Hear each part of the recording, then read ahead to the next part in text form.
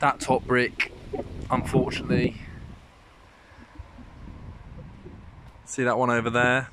If that was lined up, if that was added, then it would actually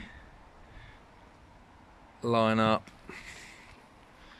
with this one, which is the same height as that one.